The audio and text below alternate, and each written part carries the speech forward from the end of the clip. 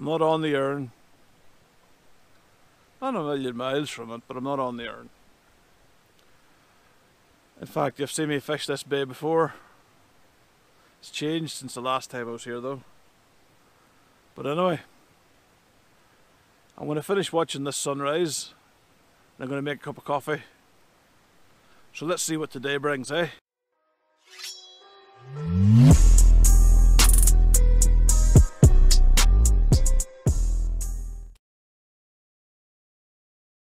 That's it. Two rods are two rods are in.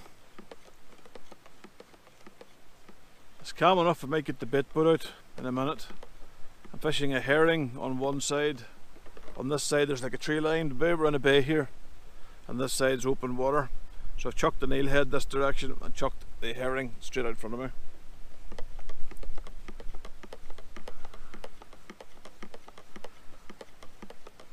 I'm going to run through I got lots of requests after the last video when I talked about ground bait. Well, I'm going to run through how I do the ground baiting. Some people asked what am I doing, how am I doing it. Well, it's a calm enough day for the bait boat, so I'll uh, I'll run through from start to finish what I do with the ground bait from the opening the packet of ground bait to putting it in the water. It's amazing the things you guys want to watch, isn't it? Weather forecast gives it to be overcast and cloudy with some showers towards the late afternoon. But because the, normally the wind is going that way, we're in a bay, so the trees are behind us. And that normally covers us a lot from the uh, the wind. But we'll see how things are going. It's Northern Ireland. You just can't fucking predict the weather at times here. You know, one minute it could be sunshiny, the next minute it could be uh, ripping it down with rain. But since I've been here the last time, the the powers that be have put in concrete fishing stands. Really nice job. They've put in places to actually park your car as well. Again, really nice job. But I'm going to finish my cup of, I'm going to have my cup of coffee and then I'll run through things for you, it's okay?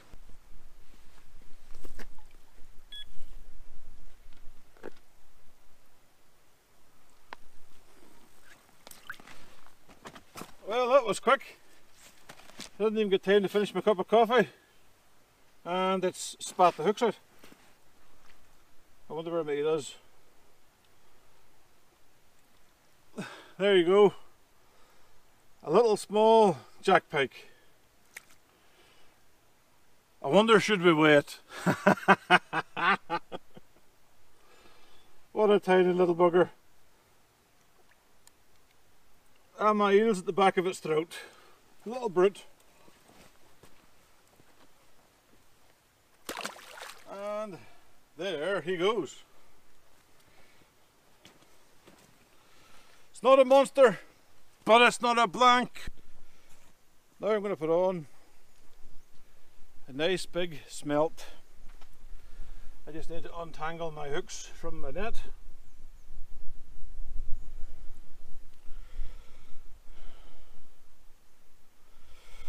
At least we're off the mark.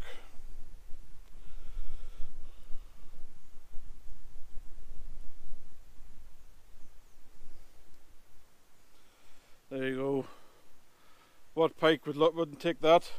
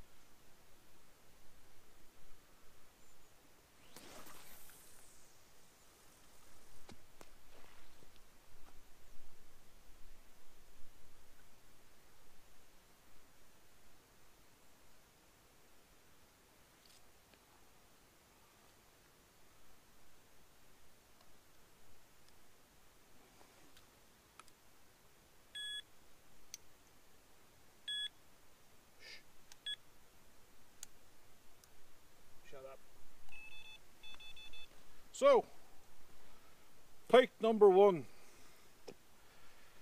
Again, not a big one, but we're off the mark.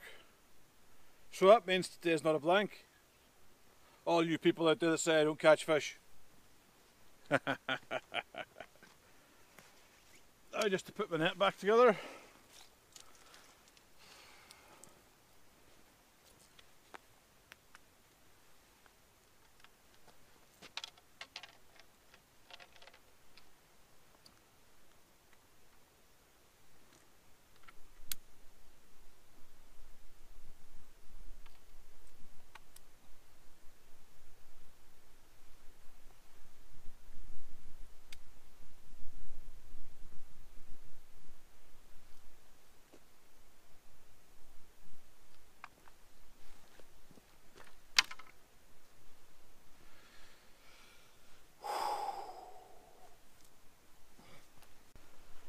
Right, something weird happened. The drop arm kind of went up and then went down. And then went up and went down. So I think something's at the bait. So I'm going to have a wee uh, feel here.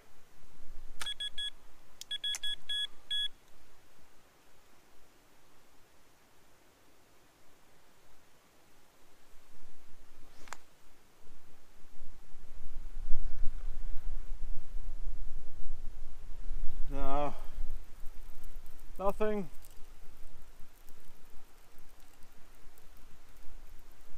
I don't know what happened there.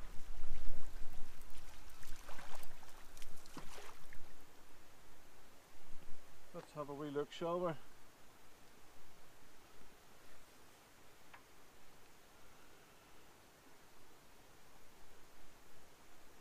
No, marks that I can see. Hmm, strange. Might pop this up and then throw it back out again.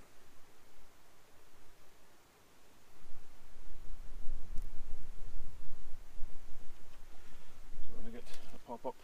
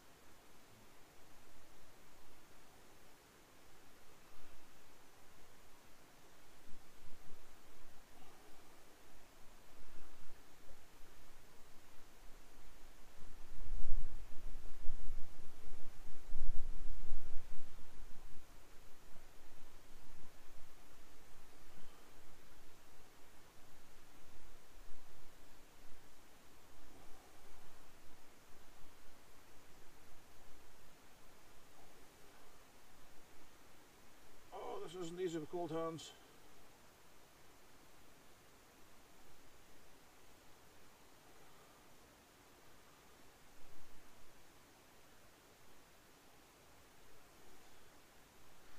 Let's see if this floats.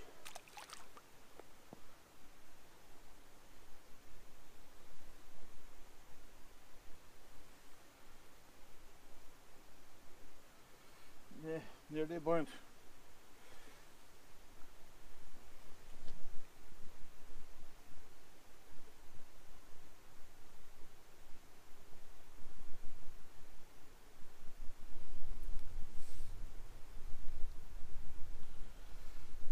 In fact, I I'll bother floating it. I'll just put it back in the bottom.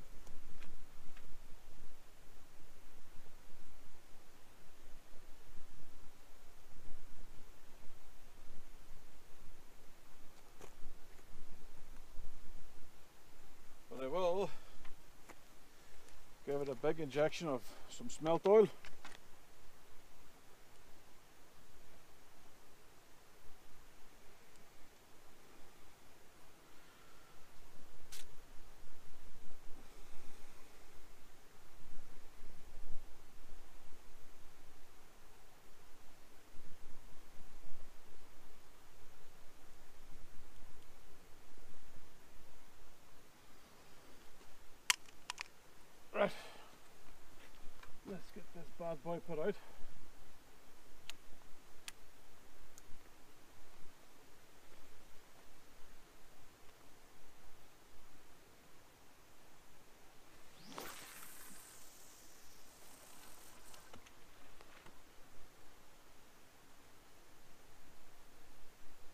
That's us on the bottom.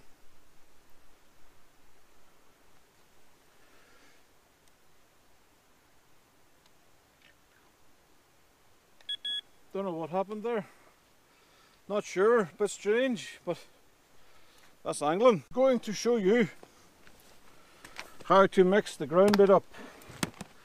In the bucket is just some ground bait, red crumb and those krill little pellets, ground bait. You've seen me make this sort of stuff before. This is just fish heads, guts, oil, blood in a bag. So you take this out.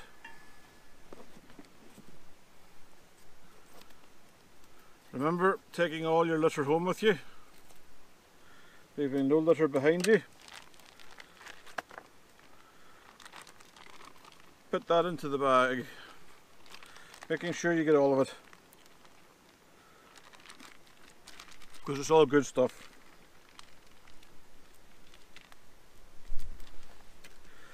Then I'm going to take some mackerel. Now, this mackerel has been smushed up. Quickest way to smush up mackerel is to put it on the ground and step in it. And it smushes it up, crushes it. So you're going to take your your scissors again. You're going to open it up. And you're going to pour it in the whole bag.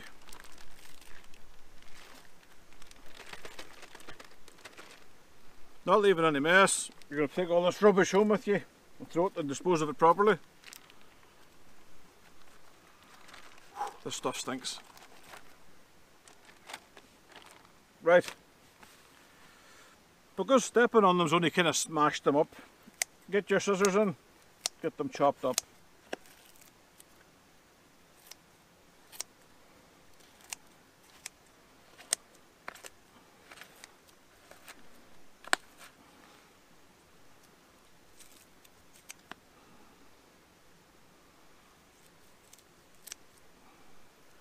Not wanting to feed the fish.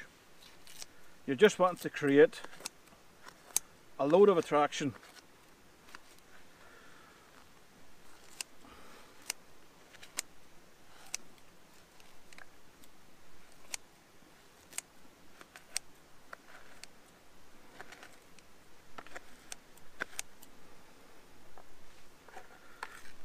I'm going to fast forward this bit so you don't have to sit and watch me uh, chopping bit.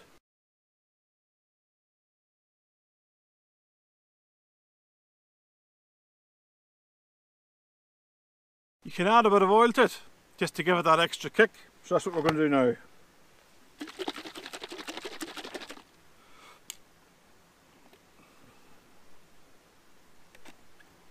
You don't have to go too mad. Oil goes a little bit of oil goes a long way.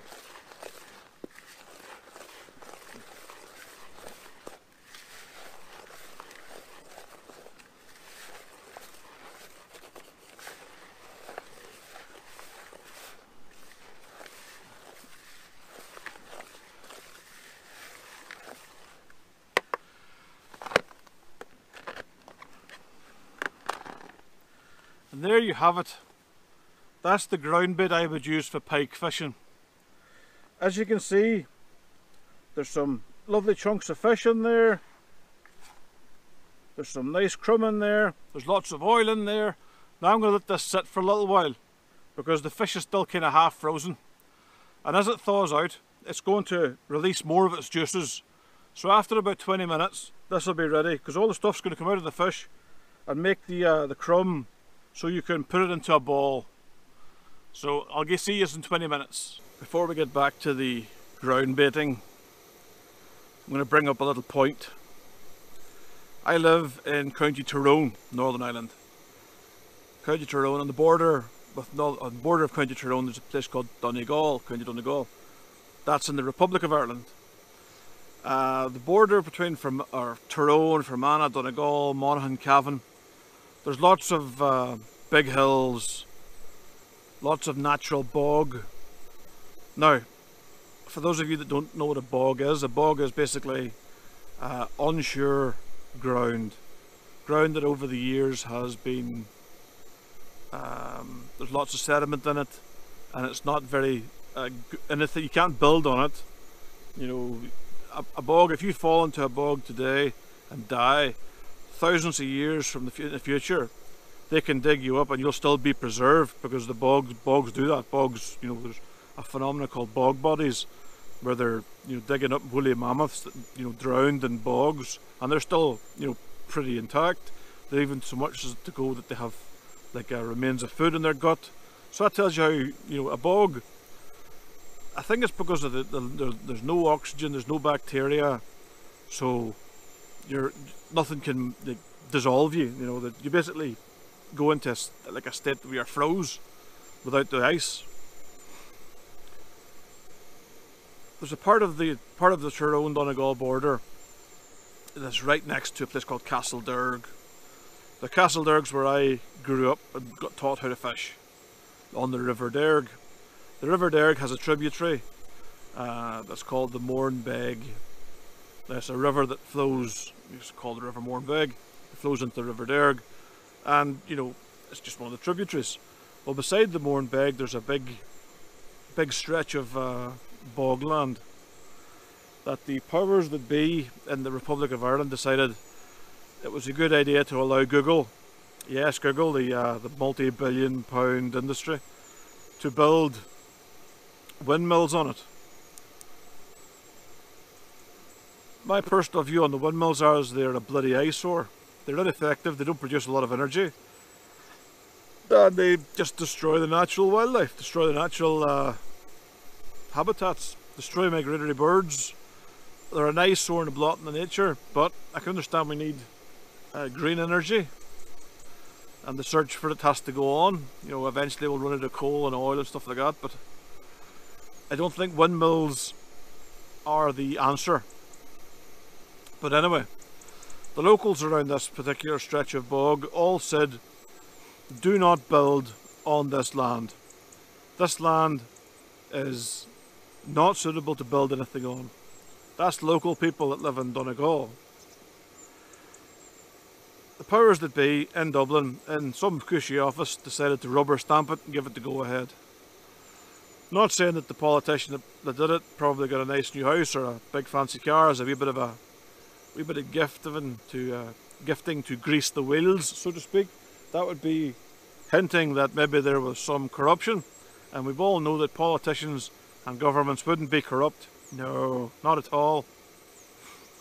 Anyway, the disaster that was predicted uh, three or four years ago has eventually happened. Because the turbines are constantly putting vibration into the ground and they've moved hundreds of tons of rock to build roads to get to these things, they've caused what's called a landslip, landslide, where the the bog is basically liquefied and it's flown into the river Mournbeg, which is flown into the river Derg. River Derg is one of the finest salmon fisheries in the world. I learned to fish there. It's very close to my heart. So to see environmental accidents that, you know, could have been prevented, you know, shouldn't have even happened, it's a bit of a kick in the guts. So I'm going to show you a little clip now of a video showing the bog actually flowing down a hill. Uh, there you go.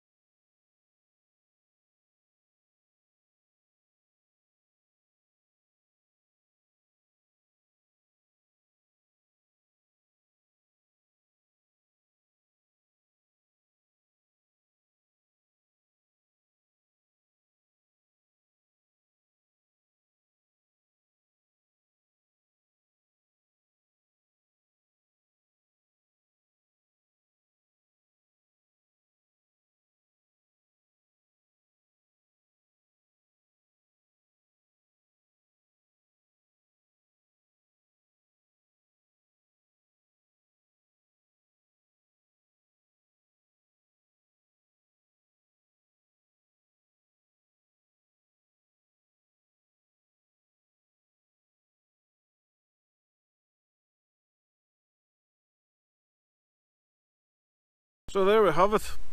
The bog basically liquefied. Hundreds and hundreds of tons of uh, bog material flowed into a river. It's, it's basically like uh, turning a river from water into soup, if you can imagine it. And the Mourne Beg basically flooded into the Derg.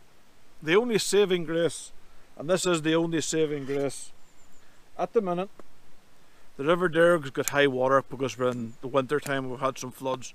That's the only saving grace that the high water might disperse the, the, the pollution and wash it out of the system really quickly.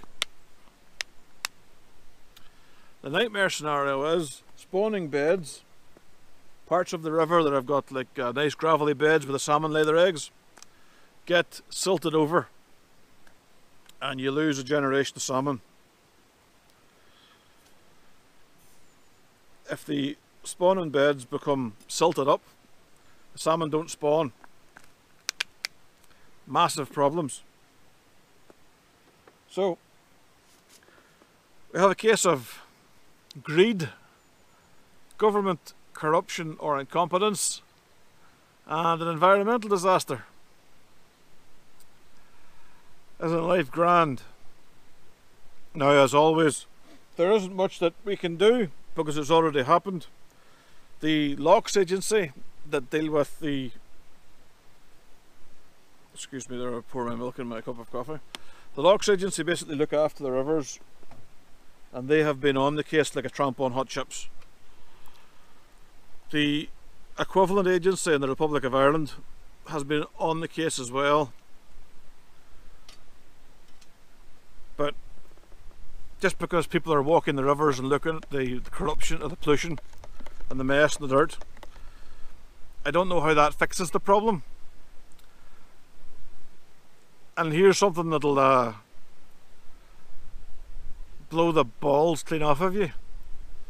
There's another tranche of windmill designs less than 1500 yards as the crow flies that's been approved by the Irish government.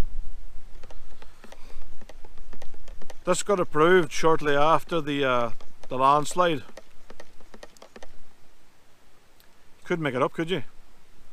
If you wrote this down and put it into like a movie script, people would say, there's no fucking way that sort of stuff happens.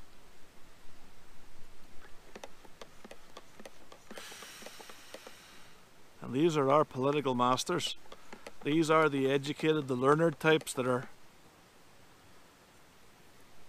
looking out for our interests. So, I'm not sure if, if this class is a rant I don't think it's a rant. I know I'm pissed off. I know I feel quite angry about it. There isn't a whole lot I can do about it though. Not a whole lot at all. Here we have a wee rain shower. Awesome. You'll be asking, how am I using the not waterproof GoPro in the rain? Well, I has me now a umbrella for the GoPro. I just wish that they hadn't concreted this so that I could have put an umbrella for the human on it. oh God.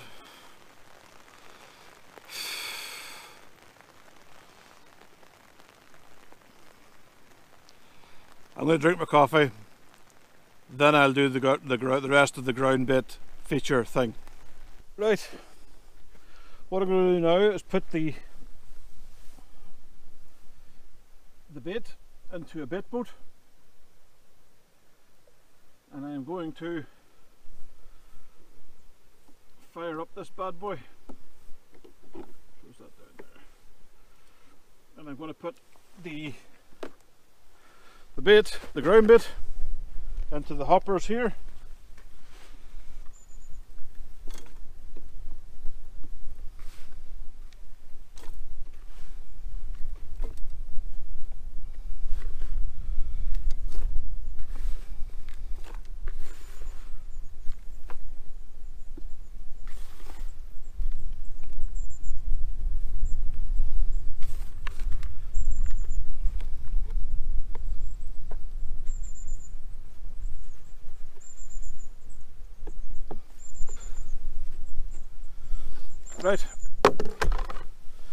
That's the ground bait, the pike ground bait in the bait boat.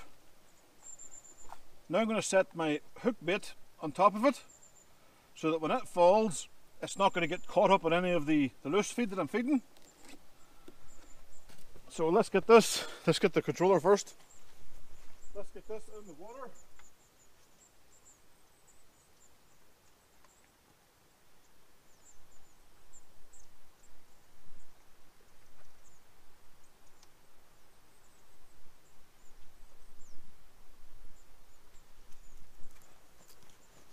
And away she goes.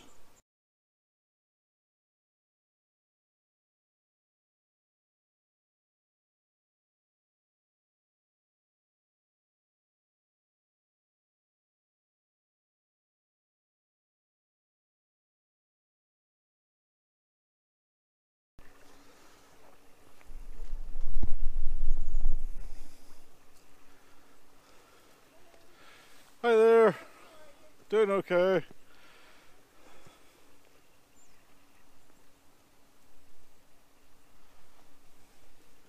I think I'm only going to get one run with this because the battery and the remote's kind of dying on me. Pardon? It's a remote control boat.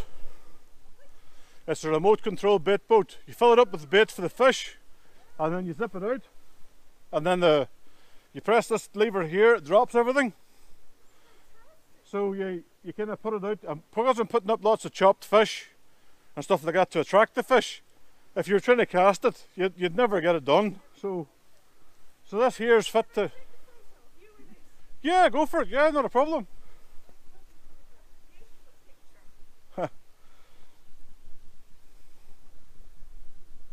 Unfortunately, today's episode of Cooking with Scobes isn't exactly cooking, it's reheating. The garage on the way here didn't have any bacon or bread, but it had these things. So we're going to have them instead. The rain looks to have kind of set in a wee bit. I have the umbrella up for the GoPro here. One small thing I forgot when you're fishing with ground bait for pike these things. These are swim feeders that guys use for barbel fishing. This weighs 3 ounce, but you get them up to like 5 and 6 ounce. These here will hold your ground bait for your pike just as well as the bait boat does. You just have to bung it in. Now obviously if you're going to use chopped fish, you're going to have to chop it up a little bit more to make sure that when you cast this out it kind of stinks out and leaks out into the water. If you're bunging up, you know, fishing a, like fishing it, it's just going to block it up. With this here, it is important that you use a ledger link because if the pike picks up this instead of your bait, you don't want it uh, biting you off. You basically want this filled up with like crumb and little tiny particles of fish so when it hits the bottom, this all comes out.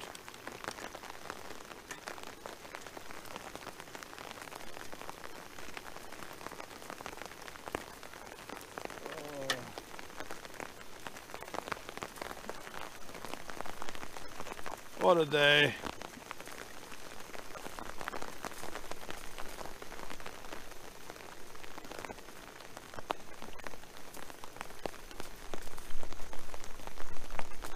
I can see it's going to burn out because there's clear skies coming in this direction so it's going to wash itself out now even it. But the oil slick from the ground bait patch is absolutely huge. if there's pike out there and they don't smell that, then something, my friends, is very wrong.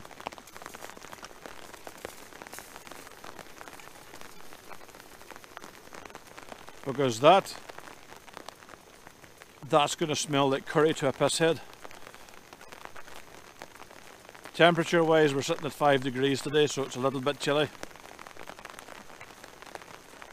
Because I'm fishing in the Republic of Ireland, you're allowed two rods because I'm fishing the only place in the Republic of Ireland that I've ever actually been reminded of that by an, a, a fisheries official, I'm only using two rods. There's three rods on the pod because I had to take three rods out of the rod bag. So I have one kind of rigged up ready to rock and roll if I have to uh, break down one for whatever reason. But it's quite nice to be out. I'm enjoying the day.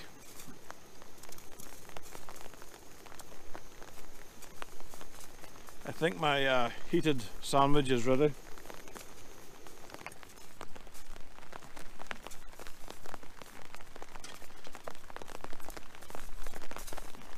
You can hear the rain hitting off the uh, the tippy monkey, I mean ridge monkey. This is one of the original ones, the small ones. The ones with the handles are bolted on, not kind of, you know, held on by a wing and a prayer.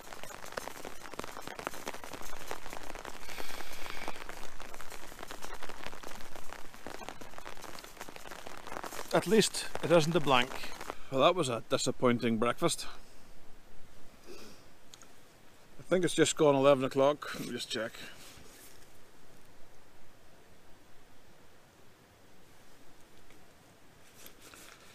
It's actually just gone half one. How time flies when you're having fun, eh? This is third cup of coffee of the day.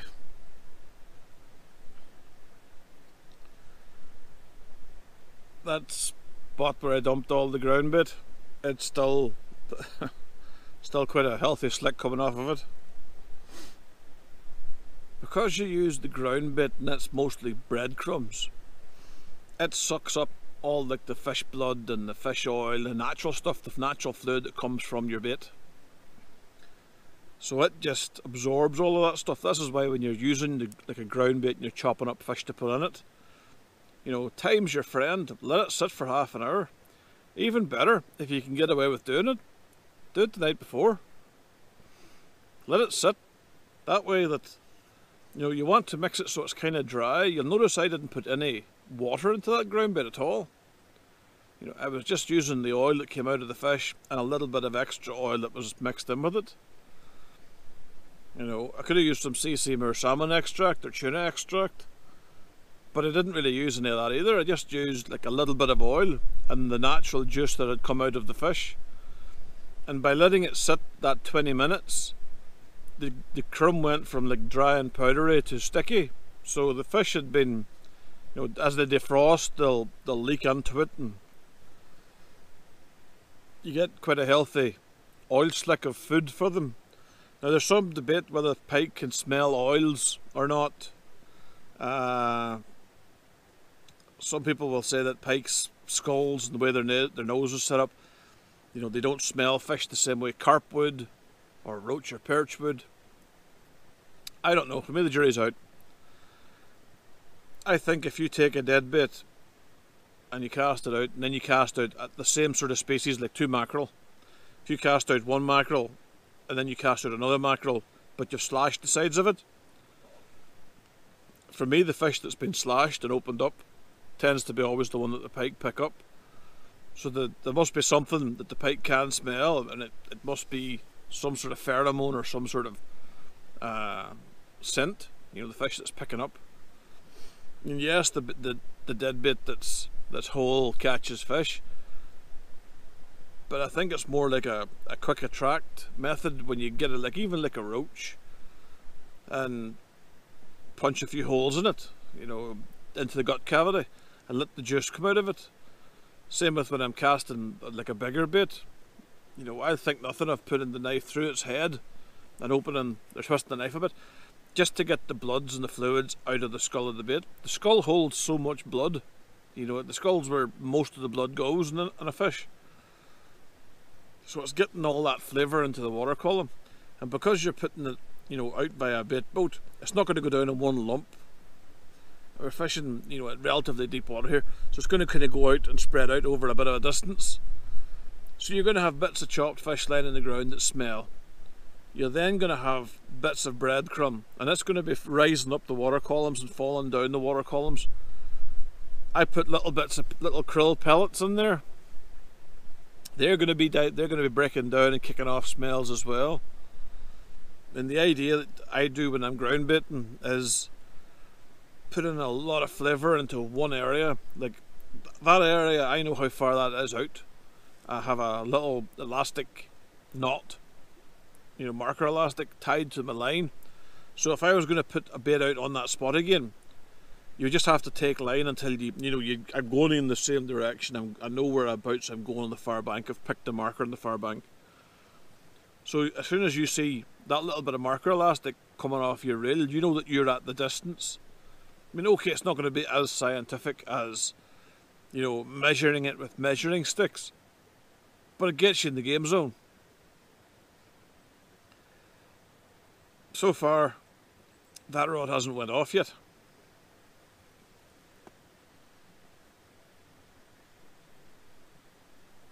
But there's still four or five, there's still at least four hours of daylight left, so let's uh, keep those fingers crossed and stay positive, eh?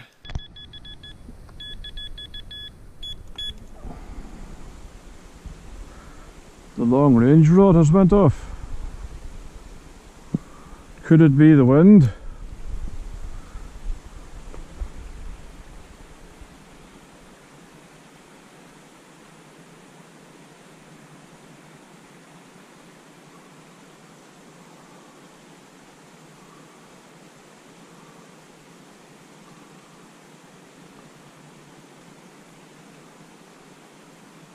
I think I found something there.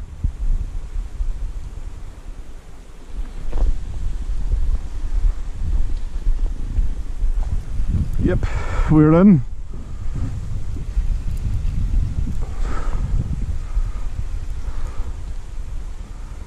Doesn't feel very big, but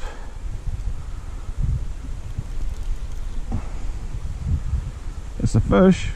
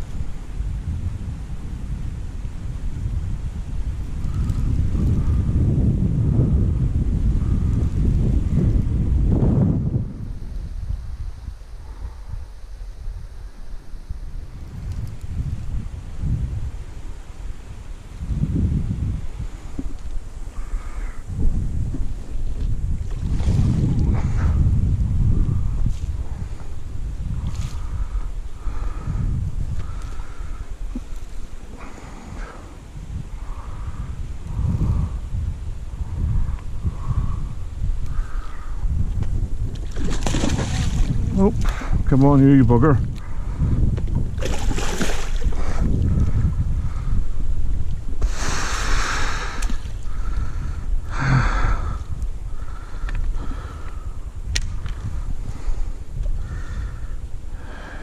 Pike number two of the day.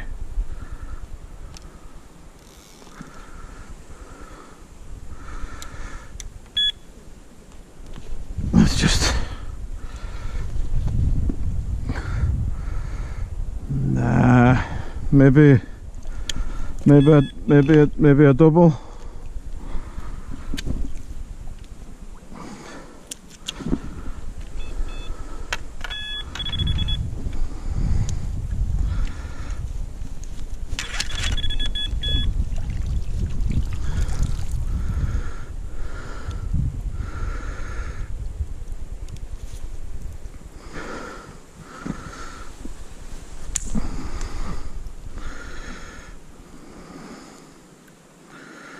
Right, that's the rod unclipped. Let's get the fish in the unhooking mud.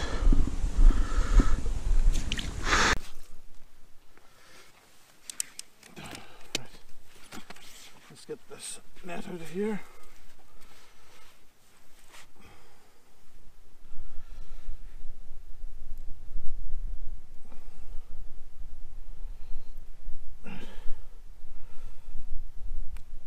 Let's picked up the big trout. See you, I see you.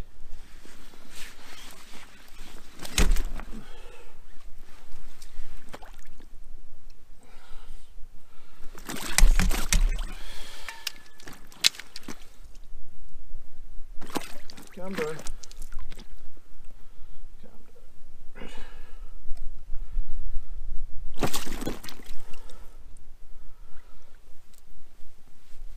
This is a very energetic fish.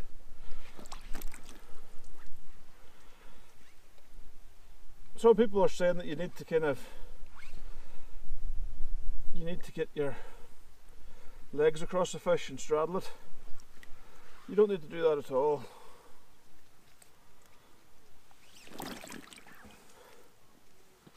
You don't need to do that at all.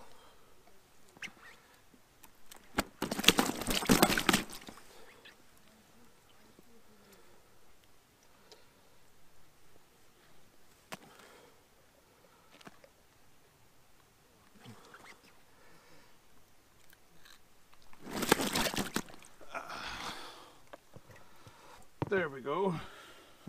Me. Not a very, just a nice little jack. Healthy. Let's take a wee photograph of it.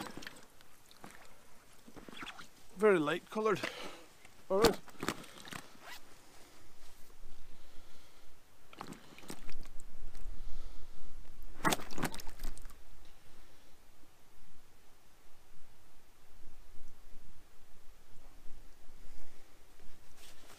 Right. Let's get it released back, shall we?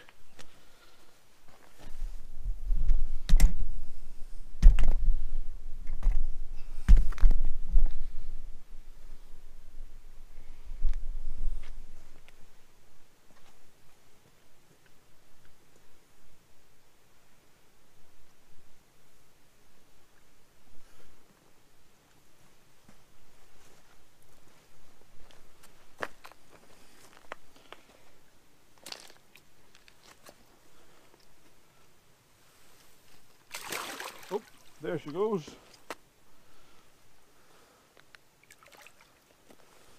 A few moments later.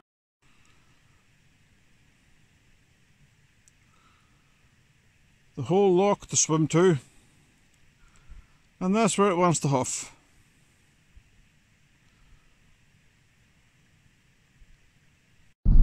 Well, that's a, a first. I've just had the, the police come down to where I was fishing and they've they've asked me to uh, provide where I live and all that sort of stuff, that sort of identification. And apparently there could be spot fines for people that are travelling across the border and all of that good stuff. But they said to me that they'll let me uh, off. To be fair, they were nice enough guys. They're all right. Like they weren't. They weren't. You know how you would get some policemen that can be uh, many Hitlers. These guys weren't like that at all. They were all right.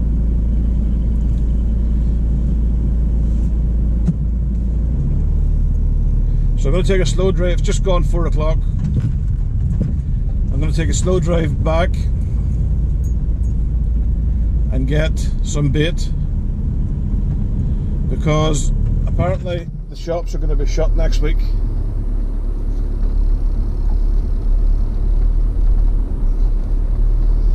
And because there's going to be another lockdown next week. So I go now and get bait while the getting is good. Ended up with two fish today. It wasn't that bad, two small jacks. Nothing to write home about. It's good just to get out. I hope you guys enjoyed the discussion about how I would use ground baiting. If you have any if you have any questions, about it, please give me a shout in the comments below. And if uh, Microcat Angling Technics or uh, any of the bait boat companies happen to watch this and they want to reach out to me and help design, design a, a bait boat that does for pike, then I'm happy to work with you. Batteries that were on a full charge when I left the house drained after three runs with the bait boat. Now, that could be just because it's the cold weather. It could be that the batteries are crap even though they're they're relatively new. You know, they're relatively they're only about eight, only about two years old. They've been but I guess in the summertime they were kept, you know, dry and looked after.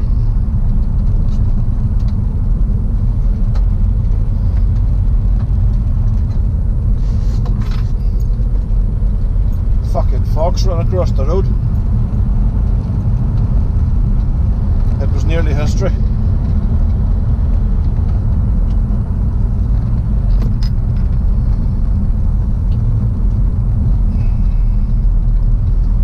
But I don't suppose that I think bait boat designers when they design bait boats they don't design them for pike anglers or have pike anglers in mind.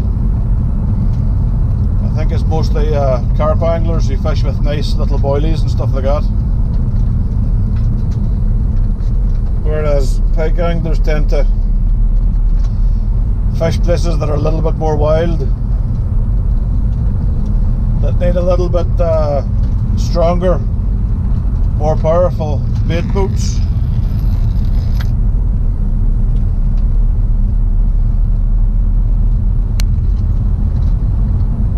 Just in case anyone's watching there and they think, I know who I know who builds bait boats.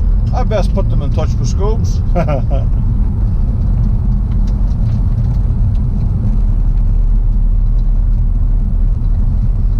Just want to say as well that thank you for all the recent subscribers.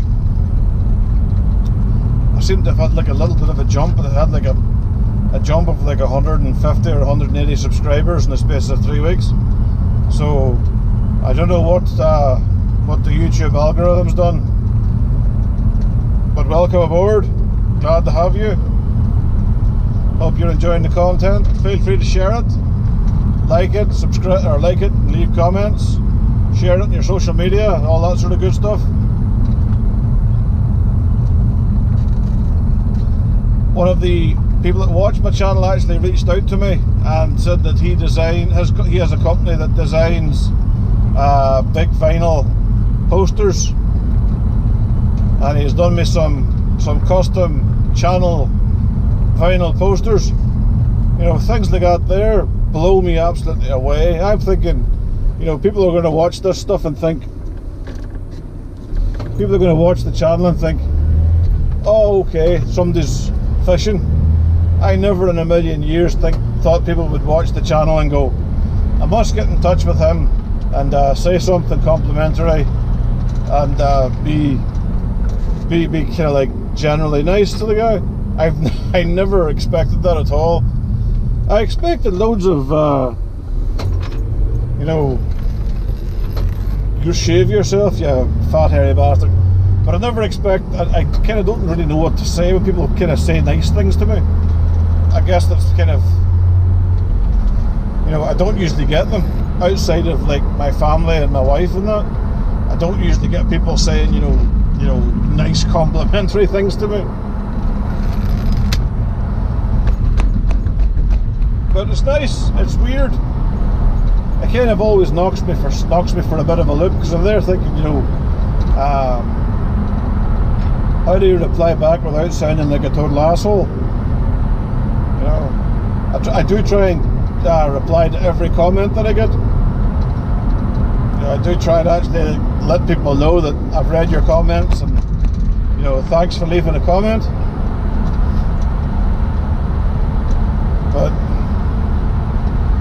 you know, you kind of feel like you're like saying the same thing, like cheers for your comment, thanks a lot for your support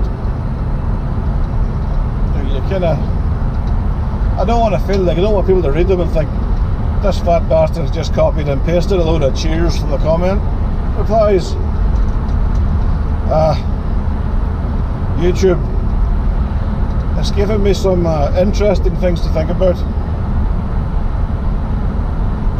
Also had a debate with people about the cradle.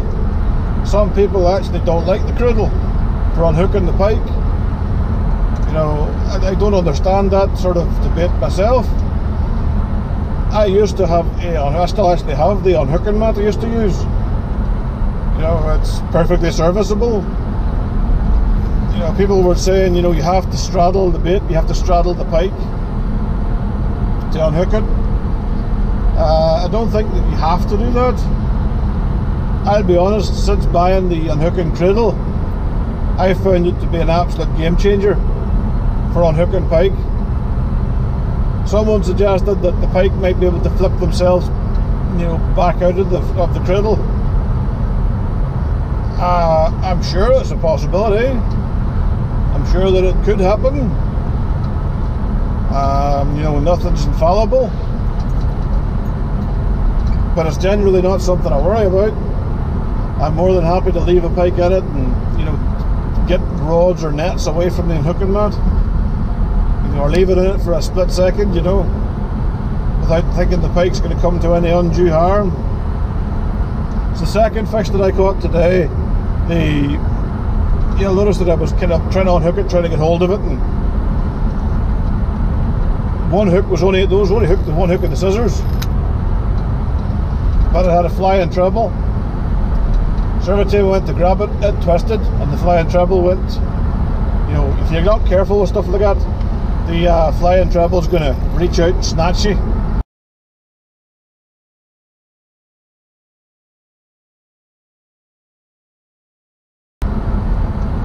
And that's just no fun. I've had that happen before. That's never any fun. And the battle of uh, human flesh and older trebles, older trebles always win. But I'm back out again tomorrow. The wife's working night, so it suits me to kind of, you know, jump in the van, go fishing, get away for the day, let her have a bit of a rest as opposed to me sitting in the house, you know, making a lot of noise and talking nonsense.